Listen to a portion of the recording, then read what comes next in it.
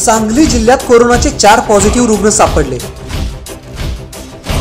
विटात बस स्थानकावर सापडलेला संशयित निगेटिव्ह.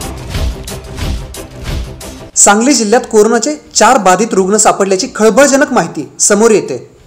कालपर्यंत सांगलीत एकही कोरोना बाधित नव्हता पण आज सिव्हिल सर्जन संजय साळुंके यांनी दिलेल्या माहितीनुसार कोरोनाचे चार बाधित रुग्ण सापडले आहेत. हे चारीच्या चारी रुग्ण इस्लामपूरचे आहेत तर परवा विटा येथे सापडलेला संशयित निगेटिव्ह असल्याचे रिपोर्टमध्ये स्पष्ट झाले आहे.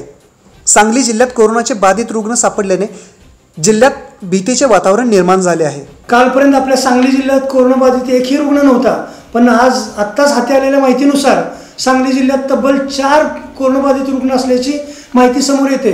आपल्या सांगली सिव्हिल हॉस्पिटलचे सर्जन डॉक्टर संजय साळुंके यांनी ही माहिती दिली आहे. हे चारीच्या चारी रुग्ण इस्लामपूरचे असून परवा विट्यात सापडलेला संशयित रुग्ण हा निगेटिव्ह असल्याचे समोर आले आहे. कालपर्यंत बाहेर असलेलं संकट आज आपल्या उंबरड्याच्या आत आले तरी लोक जागे व्हायला तयार नाहीत लोक गंभीर नाहीत. आम्ही दिवसभर फिरतोय शहरात फिरतोय ग्रामीण भागात फिरतोय. तरी लोकांना या कोरोनाच्या संकटाची जाणीव व्हायला तयार नाही किंवा याचं गांभीर्य यायला तयार नाही. लोक असेच फिरत आहेत प्रशासनानं संचारबंदी बंदी कडक केली असताना कठोर पावली उचललं असताना लोक बाहेर पडतायत घोळक्यानं जमतायत एकत्र उभे राहतात एकत्र बोलतायत. काल तर अक्षरशः लोकांनी जुलूस काढला.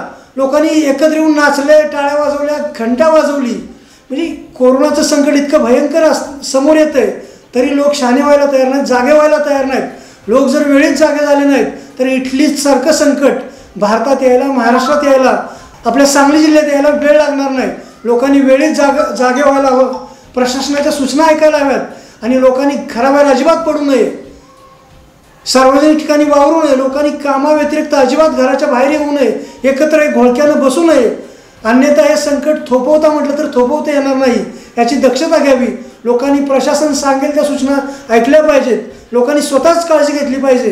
कारण जिल्ह्याच्या बाहेर असलेलं संकट आज आपल्या सांगली जिल्ह्यात आलं आहे इस्लामपूरमध्ये आलं म्हणजे आपल्या घरात आलं आहे त्यामुळे लोकांनी खूप सावधपणे या संकटाचा सामना करायला सिद्ध झालं पाहिजे सजग झालं पाहिजे.